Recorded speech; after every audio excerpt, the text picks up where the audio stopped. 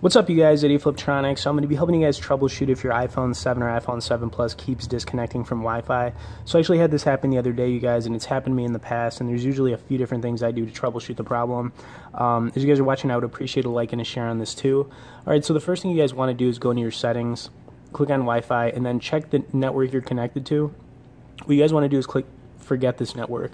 Uh, at that point restart your iPhone, you'll have to re-enter the password to you know connect to whatever Wi-Fi you're trying to, but that can usually solve the problem.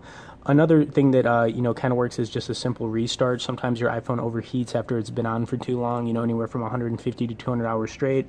You'll start to get certain glitches. So try doing that. Um, another thing you guys could try to do is go into your settings, uh, click on uh, General, scroll down to Reset, and then click uh, reset network settings. So this will pretty much do the same thing, but it'll clear out your, uh, you know, your Wi-Fi and all that stuff. So I mean, it's not going to delete anything else. It's just going to, you know, get rid of your network settings, which is your Wi-Fi.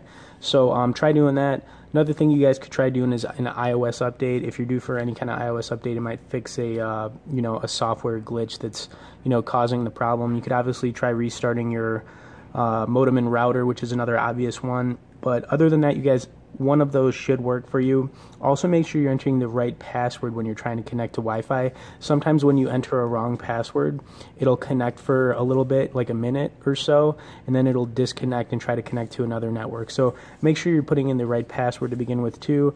And, you know, you guys try turning your iPhone off for a few minutes. I mean, it could just be the overheating issue, like I said. Just leave it off for a few minutes, see if that gets the problem fixed. But, anyways, you guys, like I said, I would appreciate a like and a share on this. You guys, I hope it helps you out. Stay tuned for more and be sure to subscribe to our channel.